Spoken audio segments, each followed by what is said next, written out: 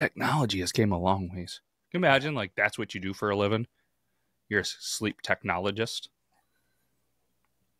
It's like being an ice cream technologist. Ooh, that'd be cool.